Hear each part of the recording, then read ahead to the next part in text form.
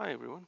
So I set myself a challenge to create myself a user-defined action so that I can pass in a list name, a content type name, and some of the fields that I want to see, and then output uh, all that information into a CSV format. So all the items in a list based on a particular content type to appear in, in CSV.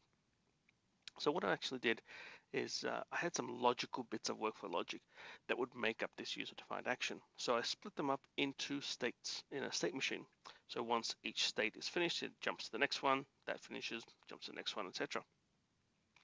So the very first state that we have is the get content type. Uh, what we're actually doing is based on the information provided by the user from uh, you know, passing parameters to the user-defined action, we're going to talk to SharePoint and find out some information uh, about that content type. So we'll expand this uh, and we'll say we're making a web service call to find out all the content types in the current list because you could have multiple.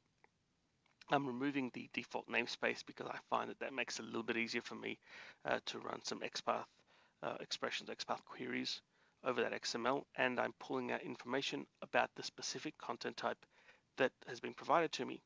If I look up here in the UDA settings and go to parameters, you'll see I actually have four parameters. Three are input, the content type, the field names, which are uh, comma separated field names. That's what I want to see in my CSV, and the uh, the list name that we're going to be querying, and then we're going to output the the CSV finally to uh, a text variable or a parameter. And that's basically that state. And once that's done, we jump to the next one. The next one is getting all the internal field names. So what we're getting is we're getting the display names from the user who's, de who's designing a workflow that's going to call this user-defined action, and they're not going to know what the internal field names are. So this is a way of actually pulling that information out uh, from the SharePoint content type itself. So let's have a look how this is uh, is doing it. Well, we already have the content type, uh, some of the content type information as in like the content type name and the actual internal content type ID. Now what we're doing is we're actually going to call SharePoint and get uh, more information about that specific content type. So the content type you're dealing with is an item content type, then this is going to pull out all the fields uh, that are uh, in that particular content type. Again, removing the default XML namespace. We're going to split uh, the field names, the display field names that have been passed into us by the workflow into a collection variable, and then we're going to iterate through each of those um, display names, and we're going to pull out the internal field names from the content type XML. So now what we're going to do is we're going to have, for example, you might have a field name called uh, country. Now that might be the display name, but it could have been renamed a few times and the internal field name might actually be nation. So this is a way of actually pulling out the appropriate internal field name. And then because um, part of the, uh, the query that we're going to do later on, we're actually prepending an OWS underscore in front of the, uh, the internal field names, and that's going to be needed later on. And then we're going to store all this information into another collection variable that we have. So fairly straightforward stuff, not nothing too too complex yet. Now what we're doing is we're doing something called the building the XSL chunk. Uh, and I'll go into a little bit more about that uh, later so we know why we're doing this. So you see we're iterating through each of the internal names. We're building uh, some XSL and you'll see here's uh, some XSL there. We're actually doing a value of select and we're storing that internal field name variable that we have. And you'll see why we're doing that shortly and then finally we jump to the next state. Now this is the final state and this is where all the all the work is actually being done. We're actually making a call to the SharePoint list.asmx web service. We're calling a web method called getListItems. And then if you look at the SOAP packet that we're passing in, we're passing in the list name that has been provided to us by the workflow we're also doing a query.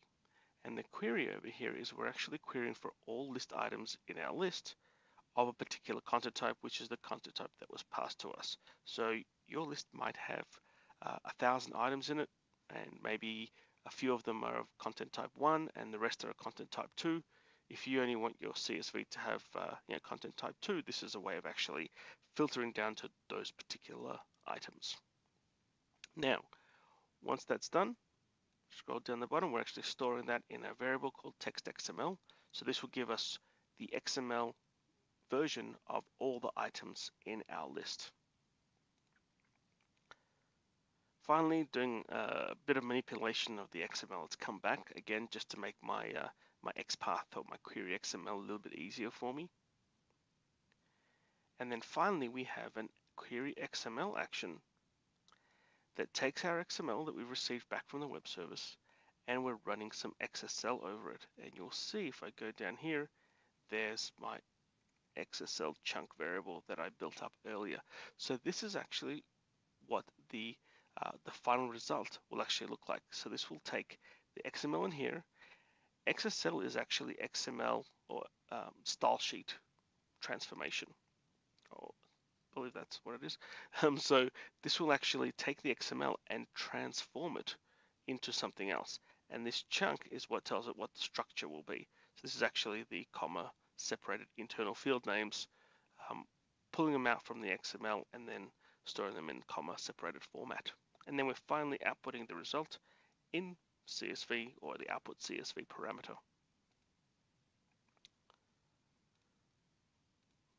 Now what we'll do is we'll go to our workflow that actually calls this uh, uh, this user-defined action. You'll see I've got my user-defined action here. If I double click on it, you'll see I've typed in a couple of things like item is my content type. The fields I want to pull out are country and age, and you can see they're comma separated there, and then the list name, and then I've got my text CSV uh, variable, which is going to where I'm going to store my CSV output. And the log action is actually logging uh, the output variable. Now, if I go to my uh, to my list, and I right click and go to workflows, and I'm going to kick off an instance of that workflow.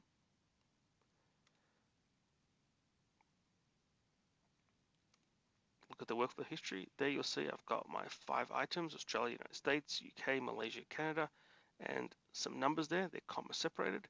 If I jump back to my list, you'll see I actually have Australia, United States, you know, all the items except for this one, and that's because this is a different content type. So if I was to actually make this visible, or the content type visible,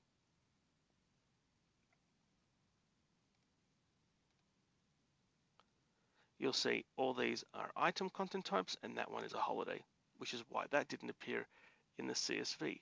If I then add a new item, call this test six, and we'll, let's go Mexico.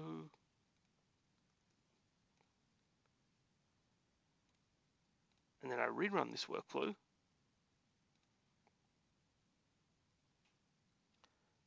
check out the workflow history, you'll see now there's an extra entry into the CSV that was created. Now, if I wanted to do something else, like I actually want, at the moment we're only displaying the country and the age, but let's say I wanted to display the title as well, I could actually go back to my workflow, and let's say I want to put title then, put a comma there, publish it, it shouldn't take too long. Once that's done, we'll run a new instance of the of the workflow and we'll see we'll see what happens.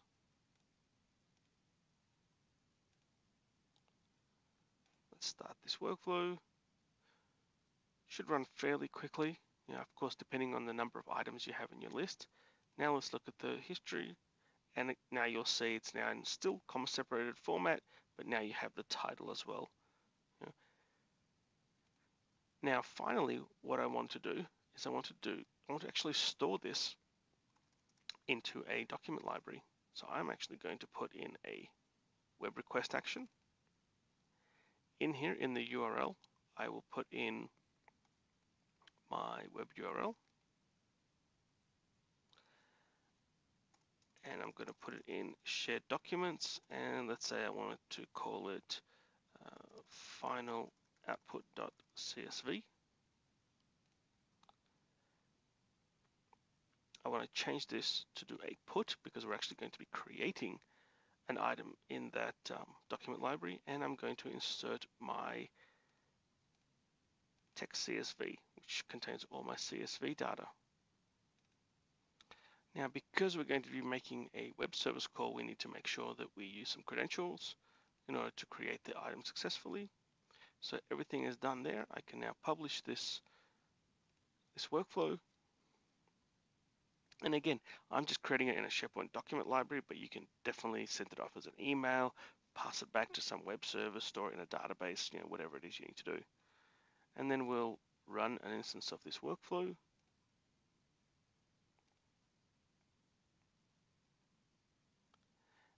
And once that's done, we should actually have a file in here called file output. So let's refresh this. There's our file output. If you put your mouse over, oh, let's just do the properties here. You'll see that the, the file has been created.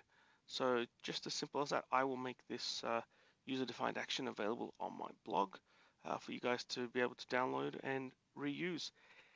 One thing to remember is that because we're using web service calls, I have a workflow constant that I'm using called site admin credentials. So in order for you guys to be able to use this, you need to either make sure you have another constant called site admin credentials with your own uh, credentials in there or create, uh, update all the call web service actions and use the appropriate credential constant that is uh, valid in your environment.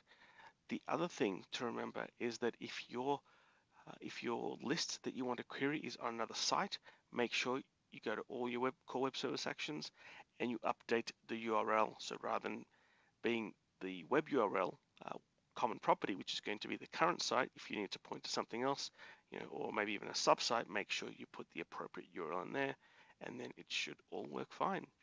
Um, I hope this is useful for you guys. Uh, feel free to leave comments or any suggestions on how this can be improved. I'm sure there are better ways of, uh, of probably doing this. Uh, you know, you noticed how I was manipulating the the XML and removing namespaces and all that sort of stuff. I'm sure that that's probably not necessary, but I just found that to be the quickest way to do it today um, to show you guys how it's done. So I hope this is useful and uh, yeah, keep on reading the rest of my blog. Thanks very much.